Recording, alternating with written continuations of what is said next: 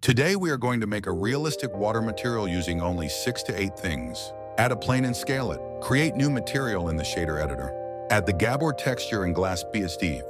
Delete the principled BSDF and connect the glass BSDF to the surface. Connect the Gabor value to the normal in the glass BSDF. Add bump node in the middle of the Gabor and glass BSDF and adjust the value. Scale the value so that we get good amount of details on the material. Now the nodes that I am adding from here forth are optional nodes so that you can animate the water or add more and more details to it.